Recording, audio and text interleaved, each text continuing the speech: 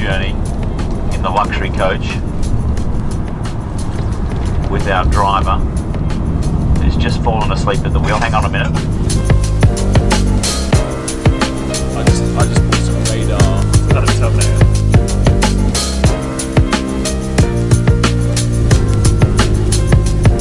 Good afternoon and welcome to today's video. I'm in France for Hot Chillee's Roubaix. The ride is actually tomorrow, so today we're doing a cobble masterclass with Magnus Backstedt. We're going to have a quick spin around, get used to the cobbles. I've only had one coffee today and I have a headache. As I said, I haven't actually ridden cobbles the size of the ones in Roubaix before, and the gap in between is is big, bigger than on a bike tyre hopefully I'll get some much needed advice, although I think I know what the advice is already, and that's speed is your friend. You just need to ride. The faster you ride, the less chance you have of falling off. Can't tell you how bad this headache is. I blame coffee, or lack thereof. Hot Chillee, we're a global events company, so we do four events a year. Um, this is our classics event, so we do Roubaix, um, doing the cobbles of Roubaix. London Paris our biggest event. Uh, we take 450 riders a year from London to Paris. Uh, earlier this year we did um, Cape Rouleur in South Africa, just a four-day event in South Africa, um, and we have a, an Alps route as well, so we do Alpine Challenge in Europe. Um, so our, our kind of USP is we're kind of professional event for amateurs. Um, so we have um, mechanical support, full mechanical support, um, motorbike outriders, so rolling closed roads, and uh, and you get to ride with the ride captain on the front on the front of the group like me. so we've got Cobbles Clinic this afternoon. Um, so we're going to go down to the Arenberg Forest and uh, yeah, see, see how the bikes bikes do. we ride on the different side of the road here and uh, it's easier if you ride on the correct side of the road here because you'll avoid the oncoming cars. If you puncture, just pull over to the side and we'll sort you out quick, smart and be on your way. So number one. Um, and that's all. I'll pass over to uh, Maggie who's going to give us a few tips on, on riding the cobbles. Thanks Maggie. A couple of things that's really quite key going into these uh, these cobblestone sections and it, for the whole day that you're riding look far ahead look about pick your spot about 50 meters ahead of you all the time so you're not just staring at what's happening with your front wheel if you're looking at where your front wheel is currently then you're going to miss all the big bumps and you're to ride straight into them you're to puncture you potentially crash any quick maneuvers on cobblestone especially if they are slightly damp uh, which there's a chance that they might be we're very likely to see on your backside. So if the bike's, if you're riding on the ridge in the middle, which is the smoothest part, the moment your bike starts drifting off that, don't try and fight it and steer back onto it. Let the bike drift, and in one way or another, at some point, you try and sort of gently push it back up to that ridge again. That whole idea of biggest gear you can turn over, forget it. It's all about high cadence. The bike will feel like it's slightly loose underneath you. It's never really touching the ground but the higher the cadence that you run, the easier it is to deal with anything, the easier it is to keep the, you know, keep the speed going. Lose grip on the handlebars. The moment you start gripping, you will get to the other end and you won't be able to open up your hands.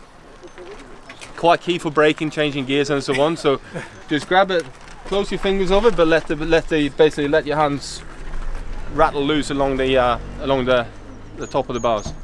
Don't touch your front brake. Start I think that's probably the uh, the gist of it. So we're going to do this is about two and a half kilometers of um, five star cobblestones. One of the worst sections that we uh, can possibly hit. Um, there's probably this uh, Carrefour de l'Arbre is as, as bad as this is.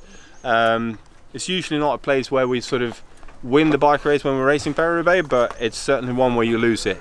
And about 5k up that direction is where all hell breaks loose and it's probably the biggest lead out train sprint train whatever we want to call it going into this stone, this cobblestone section here and uh, it's quite a special feeling when you're hitting them at about 65 70k an hour We're going to ride up the cobblestones. When we get to the top, we'll regroup, and then there's a pathway on the on our right hand side, our left hand side when we're coming back, and we'll ride back the other way so we don't uh, we don't crash into riders that are doing their dry run. You ride the cobbles all the way down there, get a feel for what tomorrow is like. Judge your pacing and so on. There's, there's this, like I said, two and a half kilometers of, of cobbles. There's quite a bit more to do tomorrow. So just How are you? It's You it. flattered already? Oh, Yeah, a million miles an hour. I entered at 51 kilometres an hour. It's nice, isn't it? You should take off there and you land about down by the bridge. Hello. Very tanned. Where have you been? Outside. He doesn't have a job anymore. He just rides his bike all the time. What? There's the water run off. Yeah, it's piddling down this raining this morning. morning. It was piddling down this morning.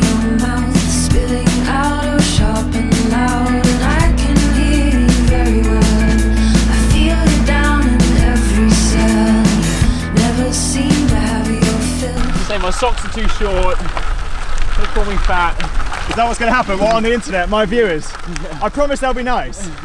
Guys, be nice to him. Have you um you got any special extra Hot Chillee advice for this? Um, you know what? The harder the harder you go, seems counterintuitive. The harder you go, there's there's, there's like a happy medium where it's it's actually a bit easier. If you're going too slow, you just feel every single bump. Most of the sections are like a kilometre and a half long. Yeah. Yeah, they're, they're pretty much all less than two k's.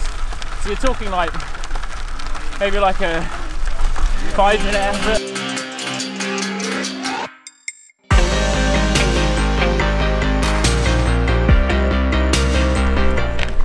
You're quite fast that one. Mm-hmm, Pretty fast. I don't know who he is, but I can confirm the Sony camera strap is not as secure as the Inno clip, and it flaps in front of the camera, which is annoying. All right, Way done with that guinea pig. can you start interfering in my filming, please? It'll be secure enough for some of the ride tomorrow, but I don't think the whole ride. I'll have to chuck this camera in the car for a bit. Have you got any special nibs advice? Yeah, get really drunk tonight. That's Day one. and that's that's day one. that's that's three Day, day, day one, 3k.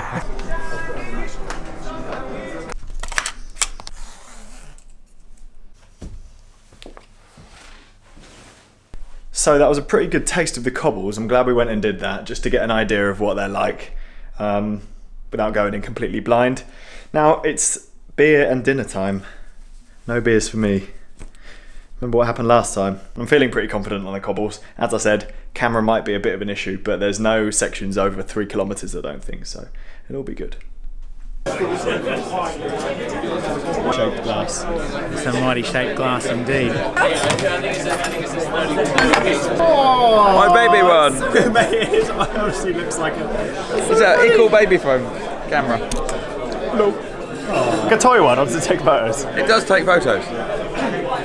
It's supposed to be real, but I've got those, but not the beat ones. Taking a photo of my shoes. yes, I'm taking a photo of your shoes because they're still white, well, nearly still white, apart is from that toe. but. I might have to get my wet wipes out for you. that sounds so wrong. These only look, they only look right when they're dirty. Can you clean them for me? OCD. I recognise you from YouTube. Yeah. All right. It's like my apartment It's your home. I have no time to clean it no, no You, time. li- you live in this van. because then they then they book me in, in the future no hotel. Ooh. Don't have Mark Cavendish in there. Not today. Mark? No. Mark, No, Mark. out. Smells of chemicals in here. Mark The racking in here is just so sorted. You can get all the bikes in. How many bikes can you fit in there? 406. It depends if you just stack them in there. 16. 16 racked. but uh, in the Plus. past I, I remember one event I had uh, 35 bikes in there. Collapse starting tiny little camera.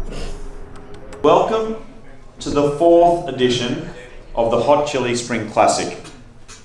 Uh, we're 111 kilometres tomorrow.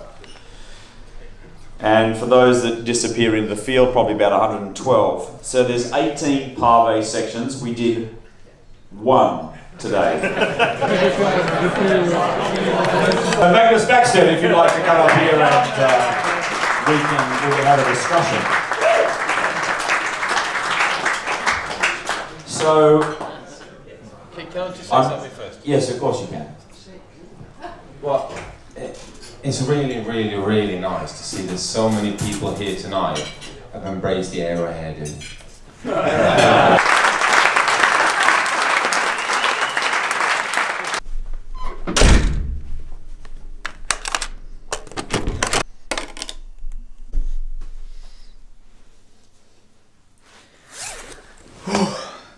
That's the end of today's antics. Everyone looks prepared or drunk. Nibs is drunk. Should be an interesting ride tomorrow. I need to get some sleep and edit this vlog. And tomorrow we hit the cobbles big time. It's about 111k. Thanks again for watching, as usual. I'm glad the camera survived. Good night.